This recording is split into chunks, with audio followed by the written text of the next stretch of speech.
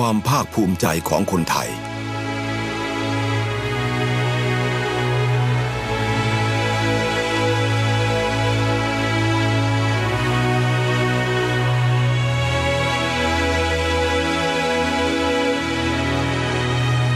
และอีกหนึ่งความภูมิใจของคนไทย